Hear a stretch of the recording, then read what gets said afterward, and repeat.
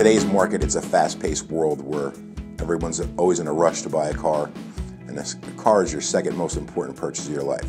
First being a house, second being usually an automobile. So we try and slow things down and make it more personal, one-on-one, and try and fit you in the right car for the right price. When we do a one-on-one as a family purchase, you leave here with a smile. You want to tell your friends and family that, hey, I just left Lynnes and I bought this vehicle. It's because it came from the heart. It's not about dollars. It's about putting the person in the right vehicle for the right price.